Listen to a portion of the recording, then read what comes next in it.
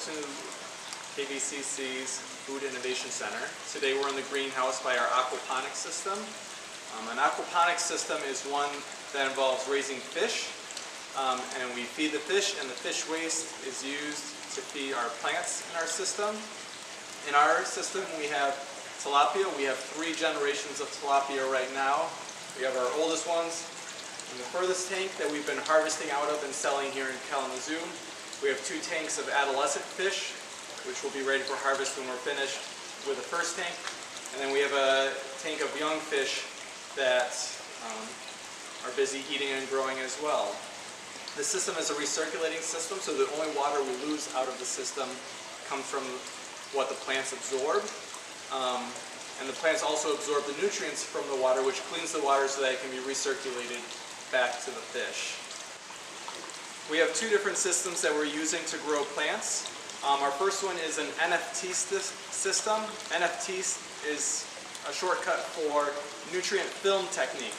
So we plant cilantro in these gutters here. The cilantro is seeded in rock wool, which is a limestone product. Um, we start it in our grow room until it sprouts, and when it's ready for transplant, we bring it out and plant it out into the system. The plants sit in these channels. The water goes in through one end, flows down the channel to the end where it's collected into a main pipe, and then it recirculates back into the system that returns to the fish. Um, we can pull one of these plants out. You can see the roots growing out of the bottom. Right there, you can see it. Um, and the roots just sit in the water at the bottom, which is only about a quarter of an inch deep. So that's why it's considered a film. It's just a thin film of water that the roots are absorbing from. This is our deep water hydroponic system. Deep water is, is an, a system where the plants sit on a raft on the surface and there's a certain amount of water underneath, underneath the rafts. Um, it's considered deep water regardless of the actual depth. You could have it be four inches deep or you could have it be four feet deep and it would all be considered deep water. The plants are started in little coconut coir pods and when, again, when they're ready for transplants, bring them out and stick them in these rafts. You can see the roots growing underneath the raft right here, sitting in the water, absorbing water and nutrients so the plants can grow. This is our hydroponic tomato production. Um, these plants have been in here since January. They were seeded in early December. The way this system works is that um, We've planted them in three gallon pots with a soilless media, a potting mix, um, and they are on a drip irrigation system. So many times a day, the irrigation system turns on, it adds the fertilizer, the nutrients to the water, and each one gets fed by an individual spike in the pot. And it supplies all the nutrients that the tomatoes need to grow and thrive.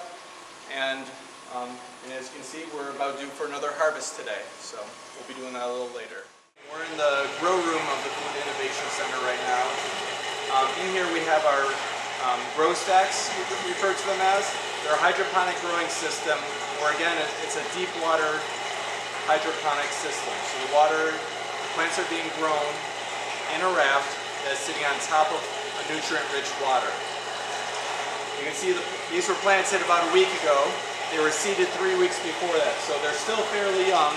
They have about three and a half more weeks to go before they're ready for harvest. I'm going to lift up one of the rafts so that you can see the roots growing underneath.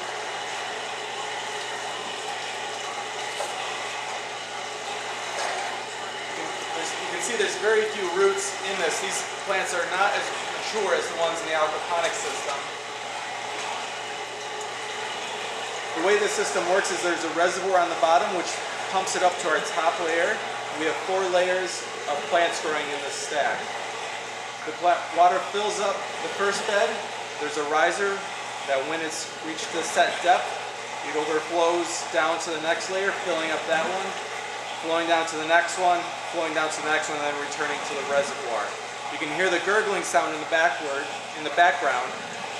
We've cut the risers just slightly so that they draw air in along with the water and that helps oxygenate the water because plant roots need oxygen as well. They don't need much, but they need some air in the water um, so that they don't rot.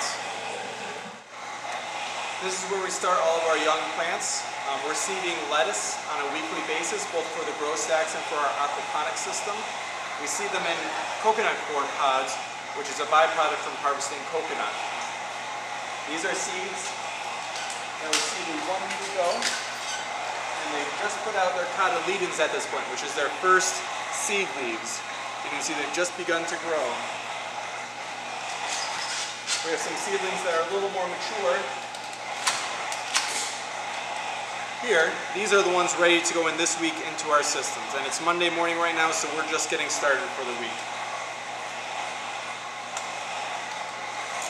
And then we have one generation, which is between those two, is over there on the bench as well.